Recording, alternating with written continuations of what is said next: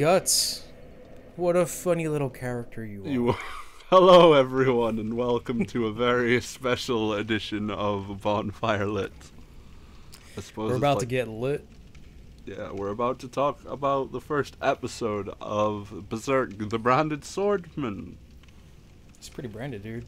Uh, with me today, we have Pokey as Poke. Uh, for a little backstory, I suppose Pokey and I are the big Berserk fans of Bonfire Lit, so I felt it necessary for us to be the ones to talk about it.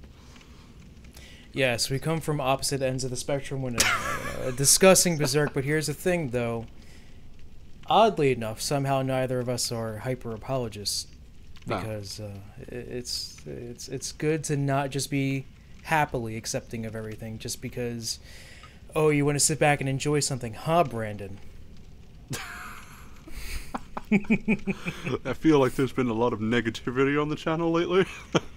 I love discussing Berserk in our Discord because it's it is the definition of unsolicited opinions of Israel. It, Unsolicited opinions of Berserk. uh, like it was fantastic. We had Will had to had had to had to shot web. We had fucking uh, Kevin Kevin obviously uh, Snorlax. That man's a monster. You, me, uh, fucking, was it Mike? Was he the one that called me Shadow the Hedgehog for not liking this episode? I don't know who, but Mike will call you an edge lord no matter what. So, Oh, oh damn, blown but up. edge edge lord is awarded to uh, Platinum Conquest for saying that episode one is unacceptable. I, I will say, you need low standards to really embrace and, and find yourself in love with episode one. Okay, that's fair. Like, uh, you know, Kotaku forms of low standards. So I suppose like we should talk about the element, the, the sorry, the elephant in the room. The animation.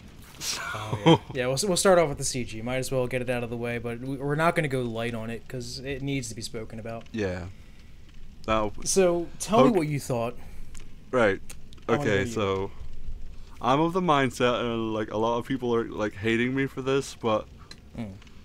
upon seeing that this is 24 episodes long, and I understand why there's CG in the series.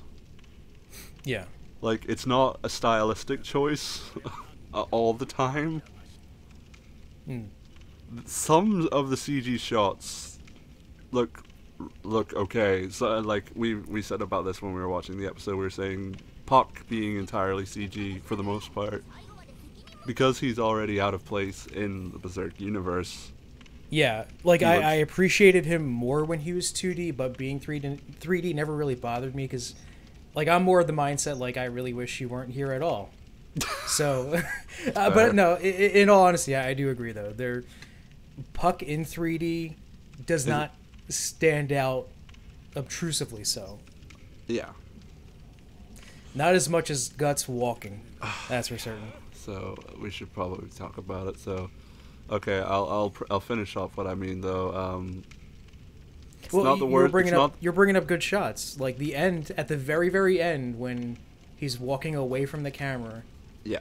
Not too bad. There are good CGI shots, and there are there are more bad oh, ones. Oh, but to say all the CGI was bad is a bit exaggerated, to say the least. like rabbits and clangs Tell my wife that I. that I clang. All right. So Pokey, tell me about what you think about the CG because I've been waiting to hear this for a week.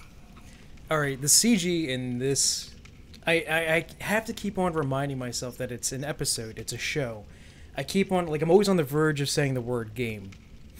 Because it does look it it frequently looks like a CGI cutscene, a really poor one. Like a, a low budget animated CGI cutscene where I've seen better animations in The Prince of Persia Sands of Time. You know, Yeah. I- I've seen like I've seen better cell shading on uh, in, in Guilty Gear Xrd. I've seen better cell shading in The Legend of Zelda: Wind Waker. Well, that's what confuses me because like through the entirety of the development of the show, I've been sending you screenshots, and I was like, look, like yeah. the like the screenshot a week before it came out, I was like, look, Pokey, this doesn't look that much different than Guilty Gear Xrd, and that's why Yeah. like I was getting excited. I was like, okay, I can't wait for like to be proved wrong, but then mm-hmm. I wasn't. that that was a that was a huge problem too because like here's the thing like I was never a fan of it going to be CG to begin with, but I can eventually look past that if if this show has enough production value to really ensnare me, which this doesn't. Not yet. Not yeah.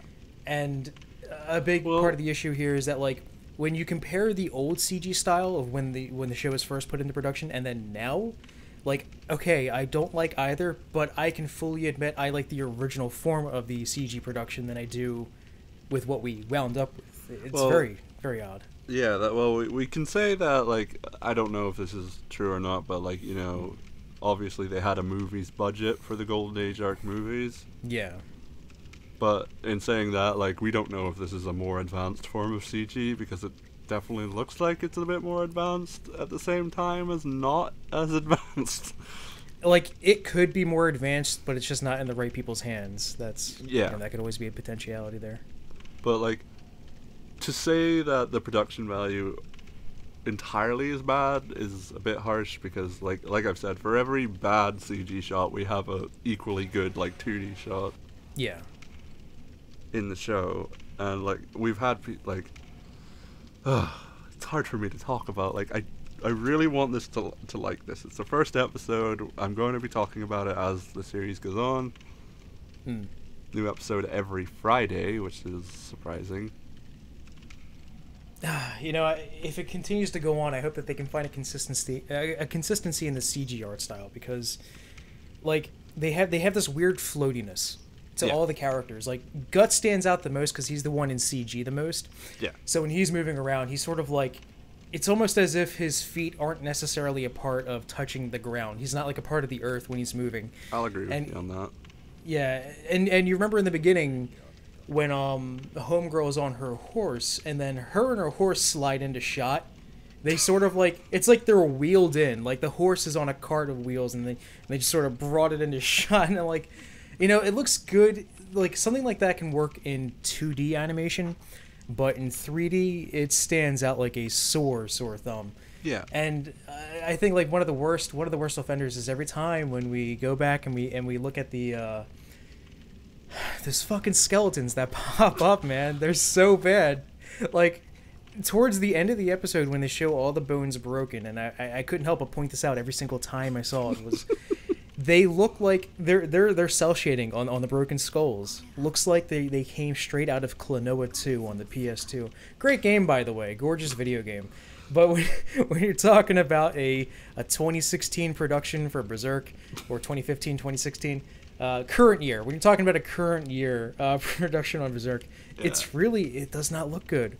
Like it, it looks like two different types of cell shading styles have just been like sort of fused somewhere. Oh, and then the trees. The trees look like they came out of a completely different video game. That was the weirdest, most bizarre thing. Yeah, it it feels like there's a lot of outsourcing happening at the moment, and I- know for a fact that there is hmm. outsourcing happening because Yeah. the popular image at the moment is you know the oh studio that's worked on Berserk, and then it's like all the slice of life stuff, and then Berserk. And magical slice of life stuff. Yeah, which isn't necessarily true because mm. there there is outsourcing. It's confirmed. Yeah. Like I'm guessing like their ha- like Lucid is doing like the majority of it, and then for certain scenes, just to like take the burden off them, they're handing. And, and here we're, we're winding up with a Street Fighter V situation where some of the character models look quality, and then Yeah. a bunch of them don't. Yeah, like we've got like we've got th- opening bald-headed thug who for the entirety of the episode just looks trash. He's so fucking bad. He's Like- so bad. Yeah, but then, But like little kid, um, little boy kid, and uh, and Puck, they're not the worst things in 3D. No. Well, there was effort put into them, I, and rightfully so because they're main characters. Yeah.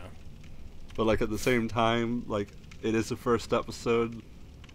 This is a lot of people. This is going to be an introduction for a lot of people to the Berserk series. Mm. So you need to make a good first impression, and like maybe I don't know what what what the like the season by season anime fan opinion of, of the first episode of Berserk is. Right. Yeah. It, it's going to be tough to say. I mean, eh, So how did you how did you feel about the pacing of the episode? It's a mix of good and bad because time passes by really fast when oh, watching Oh, it's this a episode. very it's a very quick twenty minutes. Yeah, it, it like it feels like no time passes at all. But the problem is that because the pacing is so weird, by the end of it, I'm like, that's it, because they only showed so much of what was going on in that situation, and they never made me feel like I had to give a shit about anything, especially Colette. Which, oh, by the way, speaking of speaking of graphics, fucking Colette and her weird eye, that weird lazy eye in that one shot. You know what that reminds me of? If anyone knows this comic, there, there's there's a comic uh, based on one of the animated cutscenes from Tales of Symphonia, where there's a character named Colette, and she's looking down at Lloyd when they're like camping out at, at, at night on like a grassy area, and she's staring down at him, and her eye slowly drifts off to the side, and Lloyd's like, Colette, Colette, what's wrong with you? like it's it's it's awesome. Anyway, that's what that reminded me of because this character's Yeah. name is Colette, and her eyes going fucking spazzy. The pacing though, I gave no fucks about Adolf or Colette. I gave no fucks about Puck. Gave no fucks about Little Boy. Gave no fucks about Clang Rabbit. I gave no fucks about really, really anything that happened here. Like, But eh, in saying that, like they handle, they give you a complete idea of who Guts is, and like that's the Hmm. Yes. most important thing. I can I can agree to that entirely. They really do a good job of putting you in where, or they they do a good job at exposing the mindset that he's in. yeah, I, But, I can like- agree to that entirely. but like the other problems that they have is like they don't give enough weight to parts that need weight. Yeah, Like um, girl coming out and stabbing Guts, that's a lot more drawn out. In the Hmm. manga, like the manga, like makes that like like look what this these creatures do to people, you know? yeah. I, I guess I should um, I guess I should uh give a little bit my you know my history with this particular uh, arc. I have none with it. I have no history with this arc. I have history with the Golden Age arc, and then nothing after that. And I do want to get into them. I want to read them and stuff.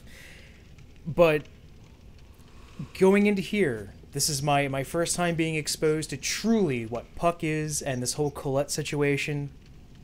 I I have no fucks to give. In fact, I'm all, I'm I'm kind of even annoyed at a couple at a couple elements. And I'm sure when I read it, I'm sure it's going to be a better experience. Yeah. Like I have no doubt in my mind.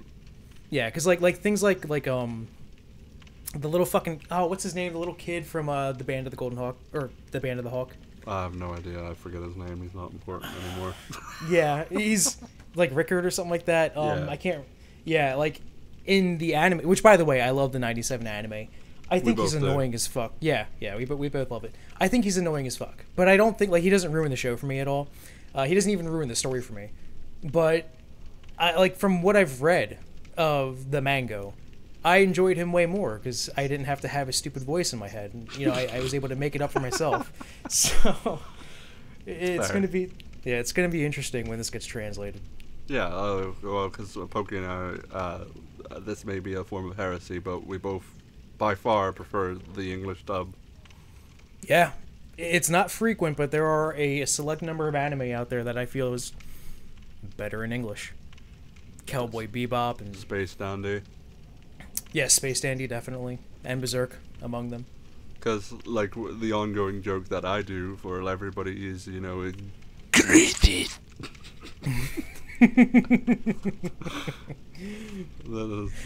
Oh, speaking of that, hey Oh. Sam, how, do- how do you how do you feel that um that whitewash Casca's rape scene gets relegated to a, a second and a half in the introduction? well, you see, Pokey, it's current year, okay? oh no, we brought Trudeau on the show. yeah, it's I don't know how to feel about that just yet. Like, it's Mm. episode one. Maybe they'll like, maybe that's not the last we're going to hear or see of it. yeah. Maybe they're Oh, gonna have like. speaking of that though, that you know something important about that about the introduction and, and a couple of the scenes, the 2D animation in this in the show, the few times it pops up, when it's not rushed, it looks fucking gorgeous. Yeah, fantastic. Like Yeah. the scenes that are hand drawn have a lot of care in them. Like, if you show me a bad CG scene, I could show you an equally good 2D one. We kept pointing this out as we watched the episode. Yeah, in fact, I was frequently saying like, "Oh, look, the 2D. Oh, and then it disappears. It goes away after like a like two seconds, sometimes three seconds at last. It, it sucks because it's like they are gorgeous. They are fucking gorgeous, and then they just vanish. And then there's that that that one quality, you know, quote unquote quality, uh, 2D spot where Guts has the weird goofy nose and his his head's all misshapen in the intro. I love that shit. Oh, it's good. Yeah, you just trust the people to go. Well, trust. I say like the people who are judging every frame, but I'm the person who went through the intro just to see if there was any of those. Yeah. there's a bunch. Speaking sp- speaking of uh, frame combing, uh, th- there's um a funny thing about the CG in uh, one of the one of the portions where a, a character has symmetrical hair, like a, a clump of her hair in the front is completely symmetrical, and the reason why I find that to be a problem is because you're working with a 3D model, and if you're working with a 3D model, that means hey, you could just build the model right away, make it look good, and then then you do the camera work afterwards. That's why it strikes me as so bizarre that they only worked on half of her bangs, and then duplicated it, and then just fused it together, it's, like it's anchored very, it on top of her head. It's very clear that they are cutting corners for Yeah. the moment. I want to emphasize for the moment.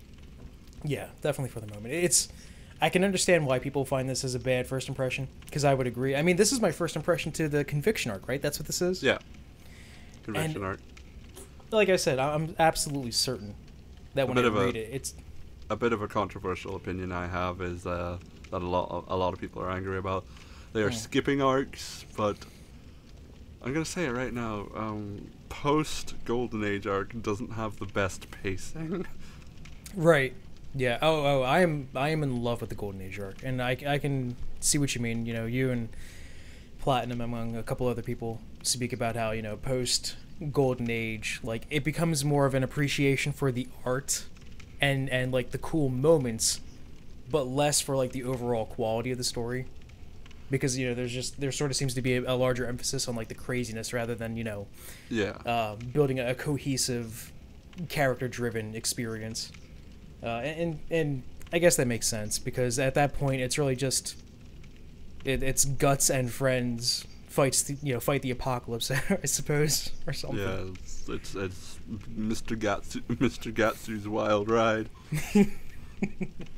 Come, children, let me show you the sea god, so I may cut him in half. Yeah, that, that was another thing though, because when we were talking about pacing earlier, uh, when we were speaking about this a while ago, one of the things that I really felt that I that I felt could have benefited this episode because they already did such a poor job at, you know, trying to sell the whole Colette scene. I feel like a lot of this episode could have been condensed into the first. Goddamn, that's the seltzer water coming back up a lot of this episode could have been condensed into like maybe 10 minutes of the episode and then we could have moved past that because i just it felt like it felt like we got nowhere other than to under, understand guts guts's mind. But you can also do that over the course of more than just you know the, the one the one event.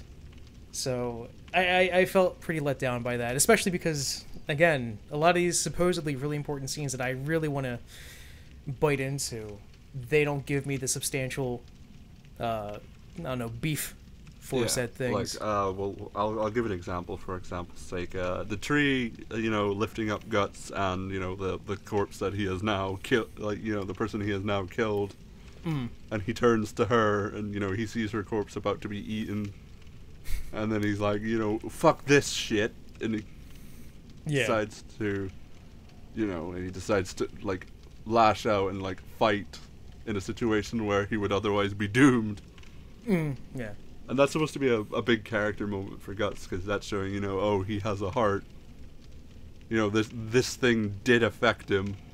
yeah, And then the, the scene afterwards, after he kills the tree, you know, you're supposed to be like, see, Guts is a good guy. And then he goes, no, they're fucking dead. Ha ha ha ha ha. it is pretty funny though. They're pretty dead.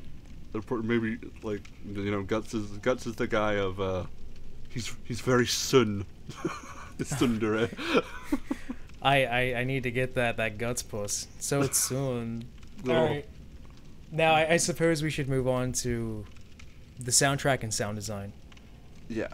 So let's talk about the soundtrack first, because I have very little to say about it, but it's positive. So, what do you got to say? Right. So, Berserk. No one, like, no one can say Berserk has ever had a bad soundtrack because it never has. Hmm. The people, the the people who have conducted the music for Berserk have always been very dedicated. They've always done a very good job. Like even on the 1997 anime, it still has so many good tracks. Oh, it's got one of the best anime soundtracks I've heard like ever. I love Yeah, it. Yeah, like it rivals rivals Evangelion, even maybe better than Evangelion. I can agree to that because they have Susumu Hirasawa. and The dude's Yeah. a fucking genius. For for those who don't know, Susumu Hi- he actually doesn't work on that many anime, but he comes back for every single rendition of Berserk. And if you are curious as to who he is, does that name sound familiar? Um, Paprika, Paranoia Agent, you know, ah, ah, ah, ah, yeah, weird fucking like you know it's Tibetan bullshit kind of. It's re- really weird, crazy, like I don't know, sort of. He's known uh, for very grand and epic music, yeah, good shit. and the fact Uh, that he solely works on Berserk is, uh, I, I love it.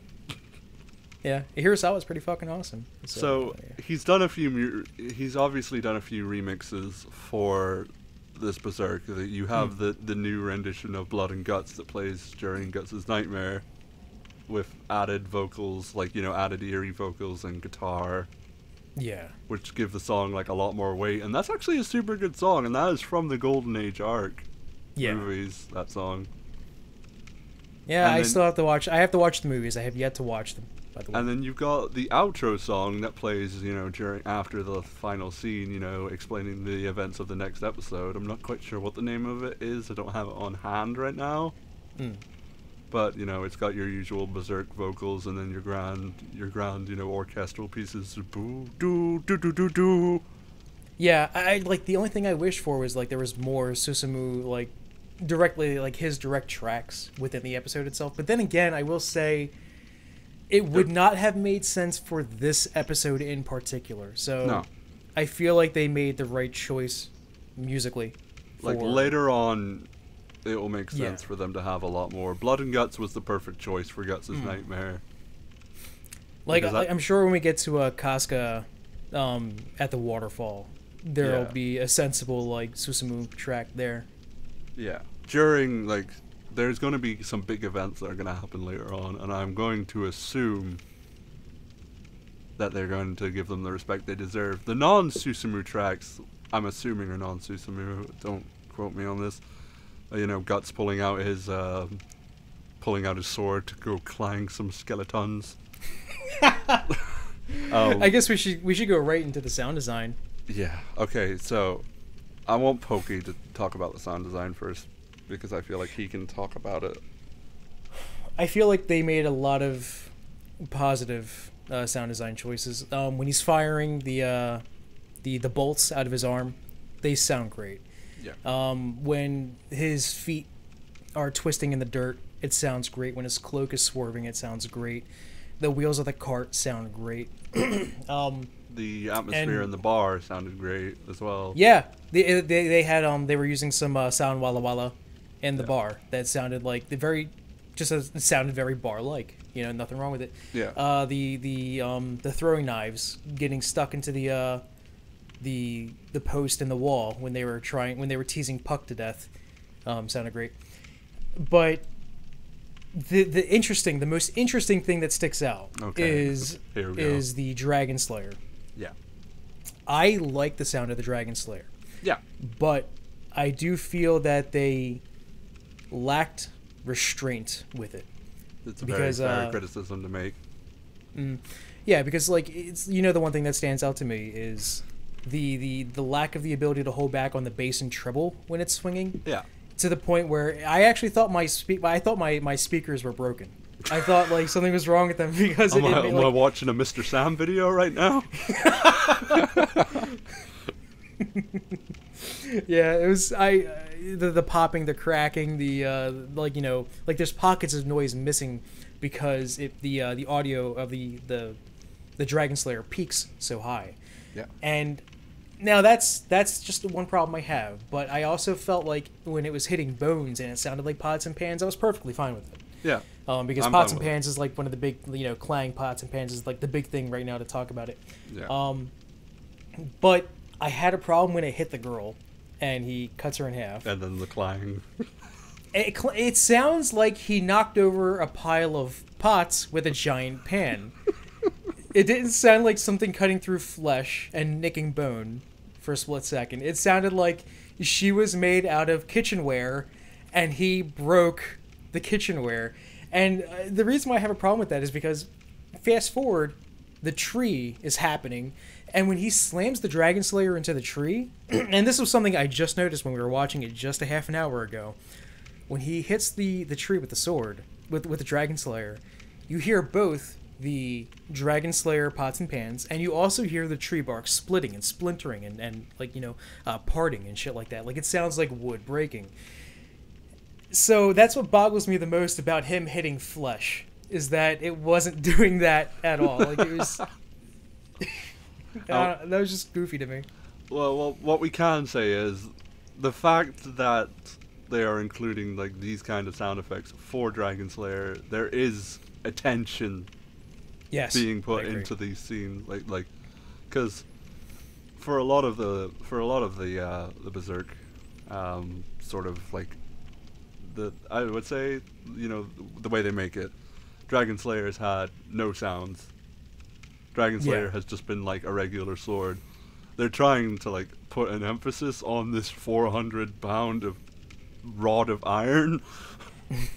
Because that's what it is. Slab, good sir. Clang, my friend. Clang, I'm gonna clang your rabbit so hard. Oh, that clang. But overall, like, it is an episode that takes multiple watches. Yeah. I feel like a lot of people watched it once and they sort of like judged it based on their first, like, entirely on their first impressions, which is never fair. And like, not many anime have a very good first episode. Yeah, not everything's Evangelion. Yeah, no, few and far between have a good first episode. Yeah.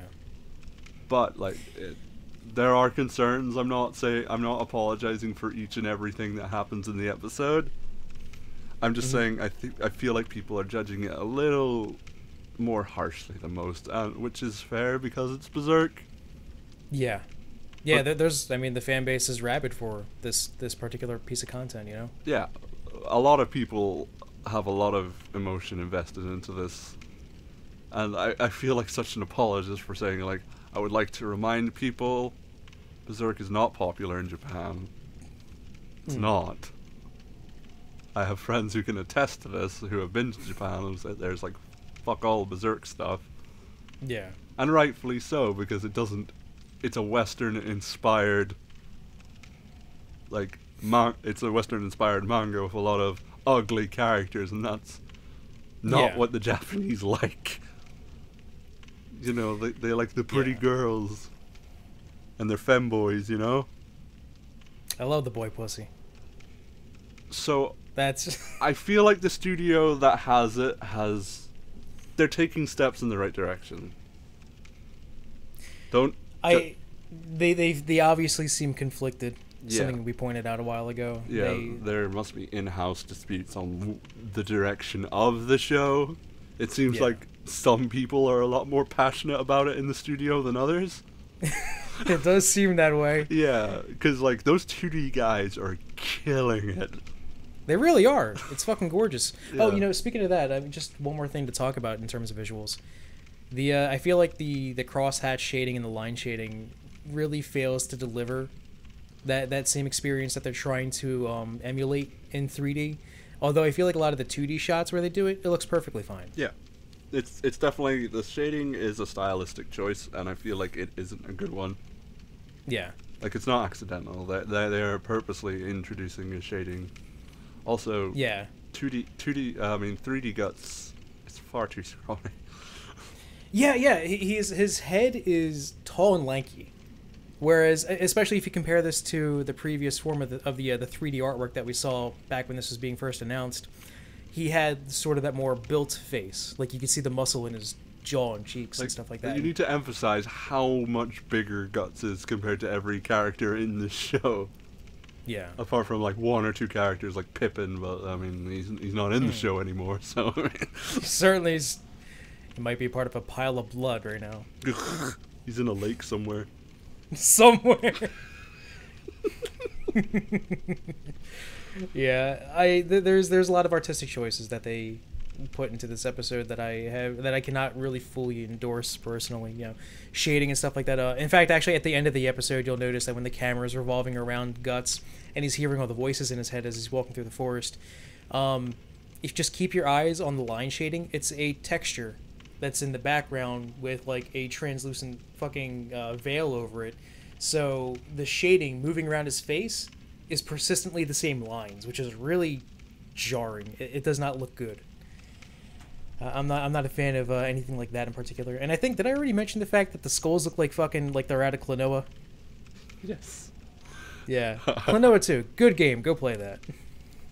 So all in all, Pokey, will you be tuning in on Friday for the second episode? Yeah, I want to see this get better. Yeah, I do too. It's going to get better. A lot of people are pessimistic, and we on Bonfire Lit are uh, becoming notorious for pessimism, apparently. Uh, the only one that's having trouble with it is Ian. Ian? well, Yeah. I've heard Ian and Switchback and a few other people in the Discord. but the Discord is not representative of the Bonfire because they don't watch our shit. That's true. That's actually very true. Oh, I hate our Discord so much. Oh, I hate you guys. Fuck them. Fuck every one of you. Okay. well, uh, yeah, we'll definitely be tuning in, and we will be hopefully making episodes explaining what we think where we can for each and every episode as it comes out. We'll certainly Yeah. try our best. I mean, I think honestly at this point, I don't know if doing this weekly would be the best option because this is like there's a lot of episodes we got going on here. 24.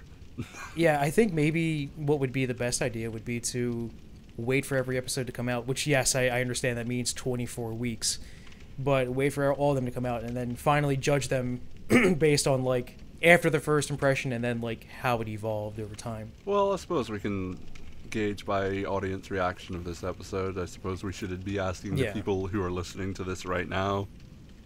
Like, So there's leave- ideas thrown leave- out there. Suggest leave- things. Yeah, leave a comment based on what you want. Do you want weekly installments? if you want to see more episodes like this, leave a like. Smash Don't forget to like visit button. my Patreon at uh uh Pokey loves Klonoa. dot Make Uh, Klonoa great again. vote Trump uh and that guy with the glasses.